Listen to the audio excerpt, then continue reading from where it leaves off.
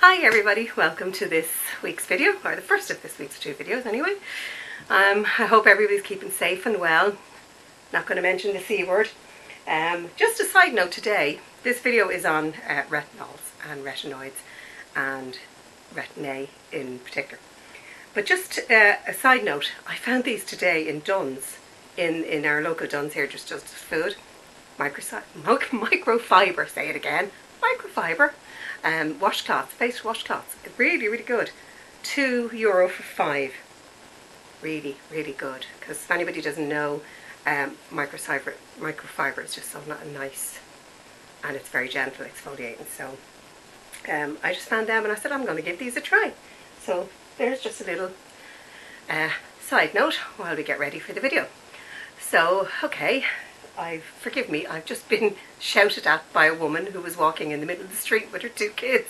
She was walking in the middle of the road with her two children and when I kind of come up behind I tooted very gently and she said and I went oh shit okay. Um, I said to her well there is a path just here.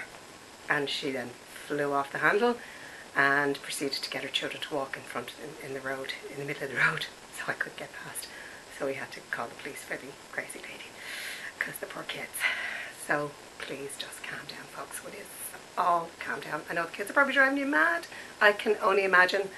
Um, and I'm grateful mine are 25 and 30 and they drive me mad anyway.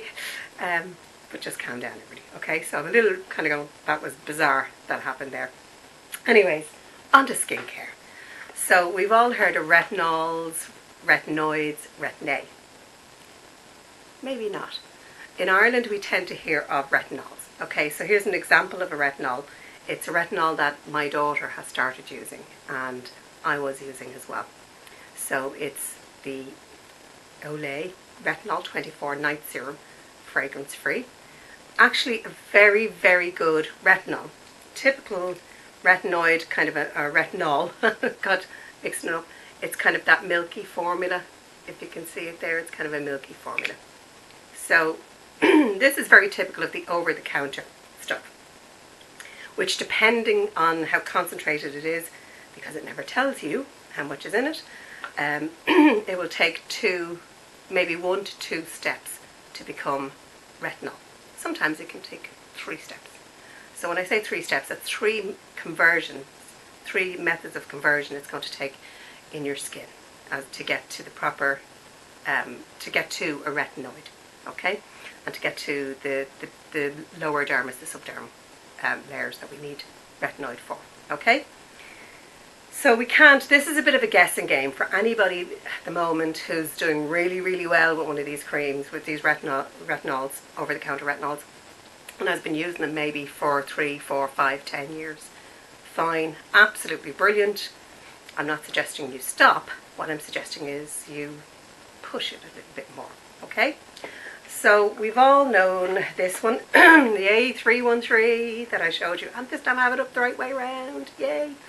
So the A313 was, was is a fantastic cream and I still sing its praises. I'm still using it, although significantly less, and I'll tell you why in a moment. This is not a retinoid, it's not a retinol, it's sort of, it's, it's somewhere in the middle of a, of a no man's land that people say, oh, I got a lot of people saying for France going, oh, our doctors prescribe it as an ointment um, for, you know, burns, minor burns and things like that. And that's true. You know, Retin-A was invented as an acne cream. It wasn't actually invented for anti-aging at all. It was just a side effect they found, they discovered. So just because a cream is given to you in one country by a doctor or by a chemist for minor burns and it's bought over the counter for minor burns doesn't mean that that's actually the intended purpose of the cream, okay? This cream is a replacement for an Avibon cream, as you may have heard me mention. And specifically when you get it, it says vitamin A synthetic, okay? And it's a concentrate synthetic, okay? There is a lot of other, like uh, polysorbonate as well, and macrogol as well in it. they make it that kind of ointmenty, emollient, right? When we say emollient, we mean like Vaseline type. It's, it's a dense, thick gel type substance, okay? So this is more of an emollient, okay, and it has fantastic moisturising properties. I sing the praises of it as a moisturiser combined with a retinol, okay. So something like this, excuse me, asthma again. That's because I'm indoors all the time, not getting out. um, I'm getting out sometimes. I'm escaping. Um, this retinol here could take three steps. We don't know because they haven't told us how much is in it.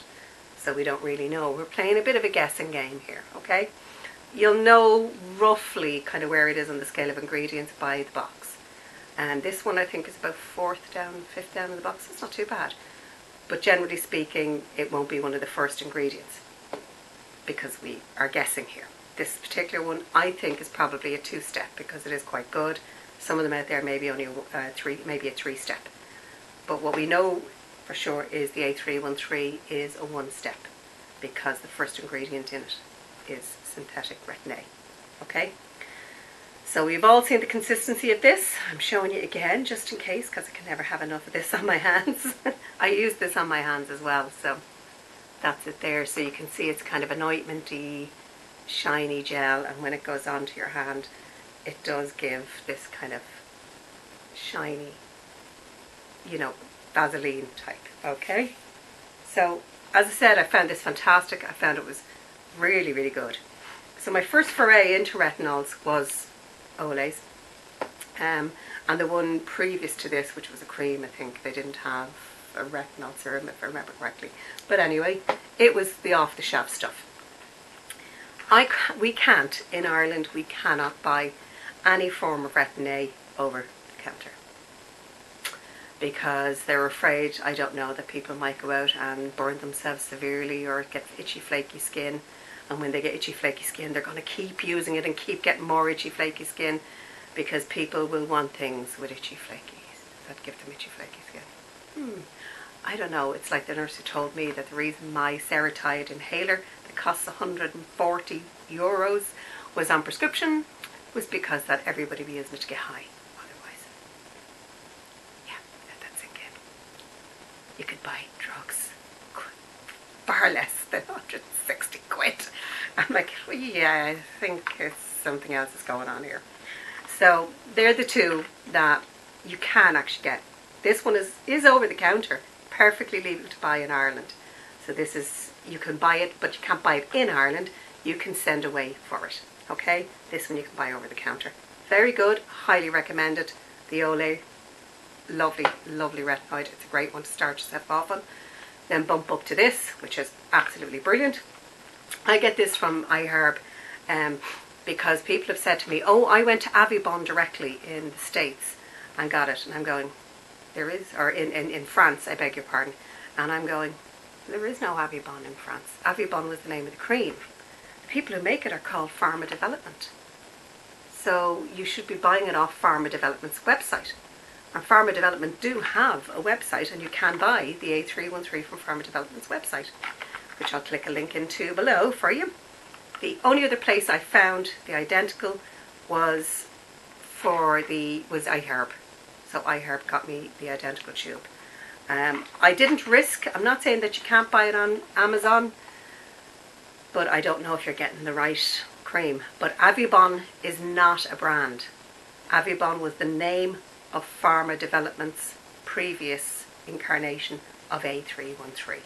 Okay, and the problem was they had problem with the stability of the product because retin A is a quite an unstable product. It's like vitamin C, so they're all quite unstable. Sunlight can break them down, and they had a problem with the stability of it. So they switched formulas and they called it A313 so if you're not buying it from Pharma Developments or you're not getting it from iHerb, I'm sorry, I cannot guarantee you're getting the right thing. Sorry. And the dupes are very good, but they don't necessarily have the ingredients. So that being said, there you go. I do believe you can get it in France for three euro, which yay, go ahead, go for it. Um, I can't imagine any cream in Ireland being three euro, uh, just because of, of our standard living and stuff is so high and, and cost of living is high and the wages are high and everything. So we just don't get that kind of, um, we just don't, three quid for cream, people would kind of go, hmm, I don't know if I should try that. So do forgive me I have no beautician because everything's locked down, so my eyelashes are falling apart. Um, so that's the A313, that's the retinol. I had done both of them. I was actually applying the retinol and putting the A313 over it, and then I realised there's not really much point in doing both, so I stuck to A313. And I was on A313 for about six weeks, and I had spoken with my doctor about this because the only way to actually get retinoids or retin A in Ireland, right? Now, this does this is what they call a retinoid, and it will go to retin A when it goes onto your skin. But the only way to get it in Ireland is through a doctor. Okay, so I spoke to a doctor friend of mine. Hi, Dr. Nick, um, in Cork, um, who's fantastic. He just knows so much; it's unbelievable. And I recently had switched to a new doctor myself. So I spoke to Dr. Nick, and he said you can actually get tretinoin in Ireland on prescription. And I said, oh, fantastic! I'll get tretinoin. Tretinoin is the one we have the info on. It's the one we have probably the the, the retin A that we have the most conclusive and I suppose dense volume of information on.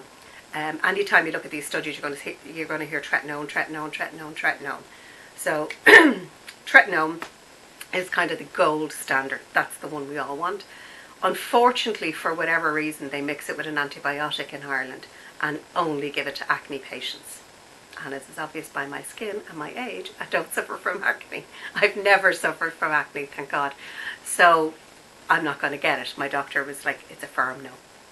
And I'm like, okay, I don't particularly want to be putting an antibiotic on my skin every day either. I don't really need that. I need the tretinoin. I need the retin A part of it, right? So, through a bit of research with my doctor, because even my doctor didn't know about this for anti-aging, you know, or skin conditions like I have, you know, age, um, not age spots, but sun damage here, um, and he didn't really know about it either, and he kind of looked at me going, "You know more than I know about this," and it, from from the skincare point of view.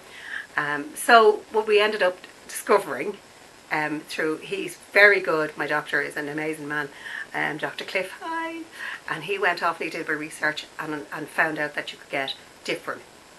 So Differin is adapalene. So adapalene is is the cream name. Now it's like tretinoin. So there's adapalene and tretinoin. Okay, so there's two kind of retinoids we have, or retin-A's. Okay, prescription tretinoin and adapalene. There is a third one called Tazorac. I'm not going to go into that at the moment because I've no experience with Tazorac. I haven't seen many of the studies on it, um, but I do believe it's the most um, irritable of, of all of them. So it's it's a it's a lot more irritating than most. Um, so I stuck with, and I can't get it here anyway. so I stuck with tretinoin and Differin, and he told me, you know, I can get you di- which is adapalene. Sorry, tretinoin and adapalene. They go by a lot of different brand names. Tretinoin in Spain is Retirides, so I'll put the link for that below as well. Retirides.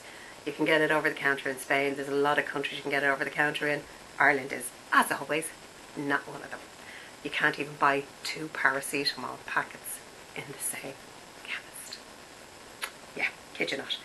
Um, so we decided to go with Differin. So he was very, very cautious and started me off on a 1% Differin. So this is what the Differin looks like when I get it from the chemist. For some reason they block out the name on it.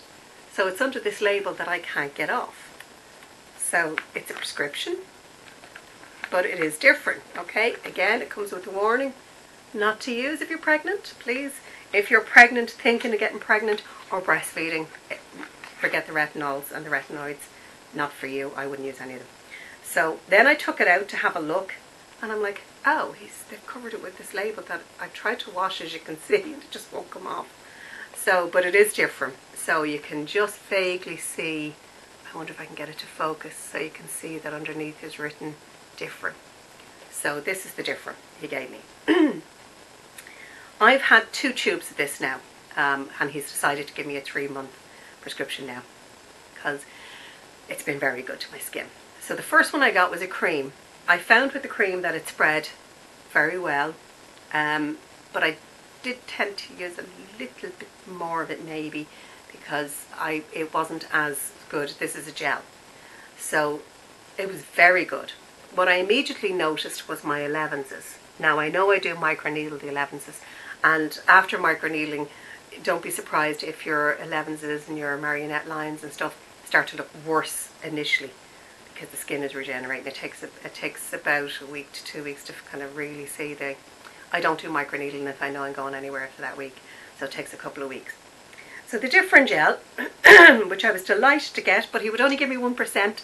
Um, I do believe he said that to me. If I go through these three months and everything is fine, that he's going to give it to me in the two point five percent. So I'm like, yay! So which is a little bit stronger. Um, 1%, this 1% is the equivalent. For those of you who do know tretinoin and have done research on tretinoin, tretinoin comes in three strengths. The first strength is 0.025. The next strength is 0.05. And the next strength after that is 1%. Differin's a little bit different. It comes in 1%, 2.5%, and I do believe it comes in a 3 or 3.5%. So that's so they, they equate to each other. So this is like the equivalent of a 0.025 tretinoin. So Differin is the only one we can get. It's a tiny tube, as you can see, it's 30 mils.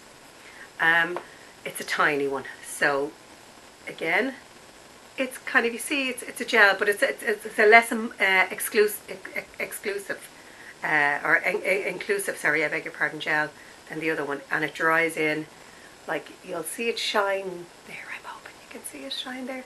And then the next minute it's dry and it's gone. So I found that soaked in very quickly. Very very quickly. And it was in. Um, to the best of my knowledge I think it's probably better than the cream. It spreads better. So I can get a little to go a, a long way with this. I have started using it on my neck. And as you can see no problems um, my decollage as well. I have found that like places here and here I'm getting a breakdown of my sun damage and some of the spots are appearing to be worse. Um, and I know Angie from Hot and Flashy said this, that when she used it after a few years she had a freckle here and it was looking worse. Uh, and I don't think it was the freckle was looking worse. I think the rest of the skin was um, faded to correct colour, like it had gone back to, and that's just that little one is going to be there for a while longer. So for me, I'm dabbing these individually every second night and then doing the whole neck every second night and then dabbing. So that's what I do, I alternate it. I have found it brilliant. Um, I don't know whether I should do this or not, but I have done it and it's brilliant. I've layered both. So I've used this for the, for obviously for the, the medicated strength Retin-A and I've used a tiny, I mean less than half of what I'd normally use at this, just on these areas and these areas for the moisturising effect. And then I put my normal moisturiser over. So I have used it to get the odd time. That's why I'm using less of this nowadays because I have the Differin. It took me about a month to persuade him to give me this. So it's not easy to get in Ireland. Um, some of you may have doctors who might be a bit more agreeable um, and may you allow, that's not to say they're any better or worse, it's just they're different people, different doctors recommend different things. I was supposed to go to Spain in um, April and I was going to try out Retirides. So I was going to bring home some tubes of Retirides to try, which is the tretinoin, and I was going to go up to 0.05%. Um, I'm still planning to do that, but I've had to reschedule my flights. So Ryanair obviously notified me and said you ain't going in April. So I'm going in July instead. So, which is just in time for my 50th birthday. Yay! So I'm going to spend my 50th down in Spain.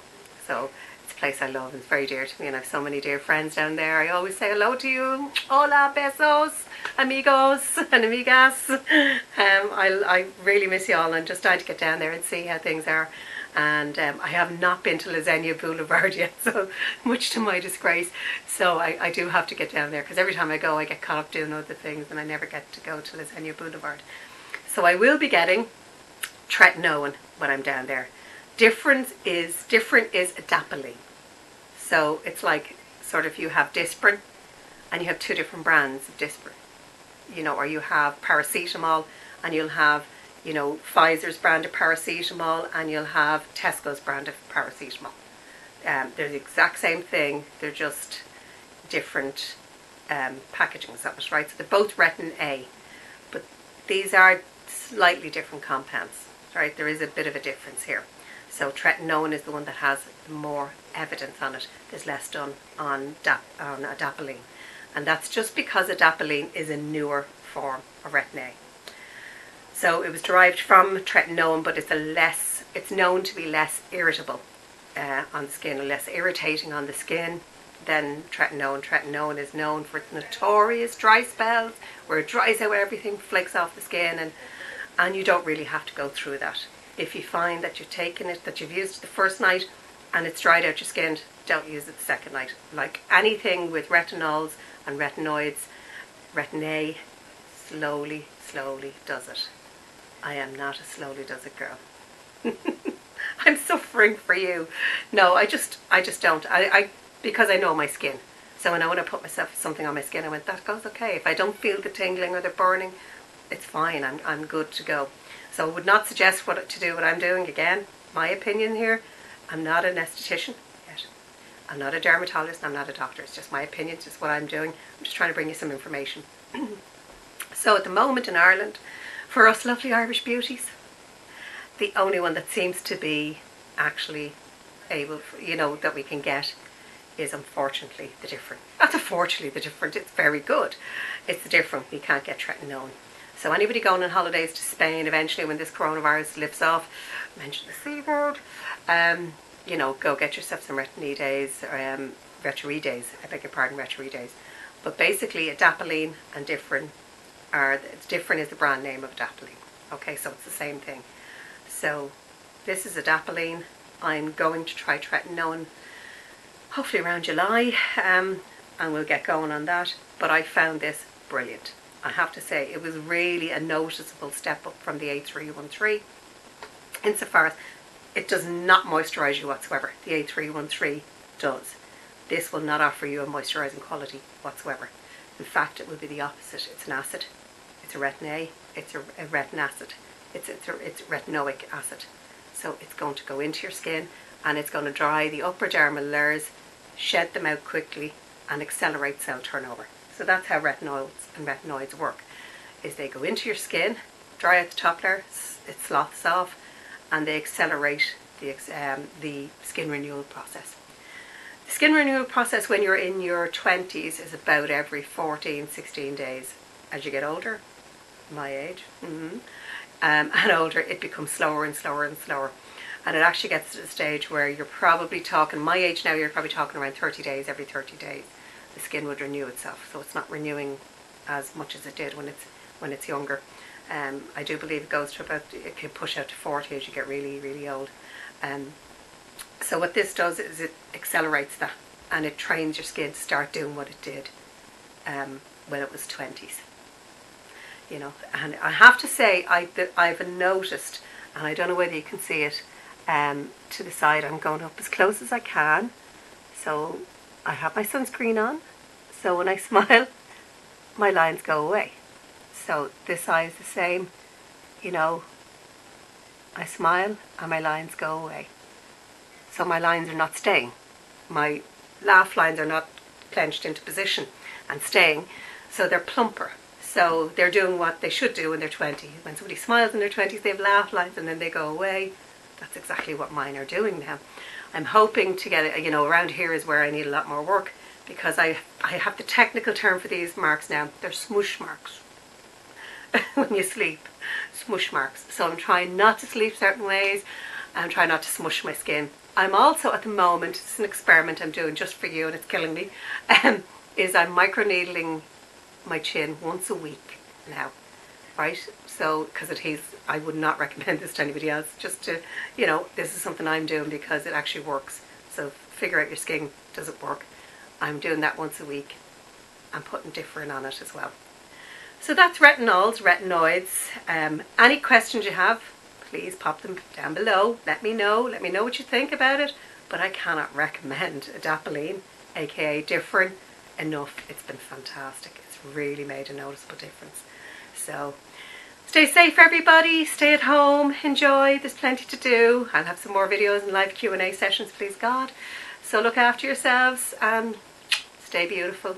Thanks for watching. Bye. Bye bye.